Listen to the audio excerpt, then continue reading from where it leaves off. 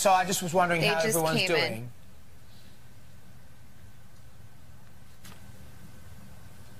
Hello, Kourtney. Have you have we lost you? All right. It looks like uh, Kourtney doesn't really want to go there with I think she's question. blanking me. I think she's totally blanking I on think there's probably a PR person there saying, you know, don't talk about it. But um, But she could just say